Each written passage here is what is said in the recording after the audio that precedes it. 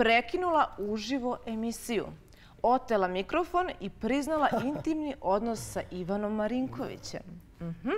Da, ne, ne, neću da kom, ne bih komentarisala ništa. Pa si to uradila? Jesam, jesam, uradila sam, da, ali dalje detalje, šta da vam kažem, nek misle šta je bilo. A čekaj, evo, ja moram tu pitati. Pa reality. E, ali sad mi je ovo čudno, sve vreme pričaš direktno. Sad se ovo kosi s onim što se ti malo pričala. Tako je, e, ja moram da ti kažem, mhm.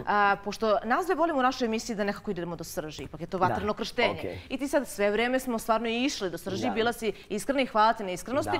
Ja moram da ti kažem da je tvoja majka, na primjer, dala izjavu da je Ivan Marinković svaki put kad se posvađa sa svojom devojkom, tadašnjom Jelenom, da je on dolazio kod vas kući, sadašnjom suprugom. Jeste, da, družili smo se, družili smo se, da, i to je prestalo te sljedeće sezone. Čekaj, a šta znači družili? Znaš šta da danas znači družili? To može biti družili smo se. E, aha, pa kako sam rekla, sam rekla družili smo se. Pa družili smo se. Hajde ovako, da mi prepustimo našim gledalcima da pogledaju naredni prilog, pa ćemo da prokomentarišemo. Jedrića amatera Nova era Meni treba žena Hajde sad da mi prokomentarišeš to.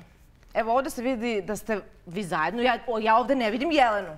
Aha, pa dobro, eto kažem, bilo je svega i svačega. Mi smo se družili ovako i bez nje i sa njom, tako da završilo se neslavno. Ali dobro, bože moj,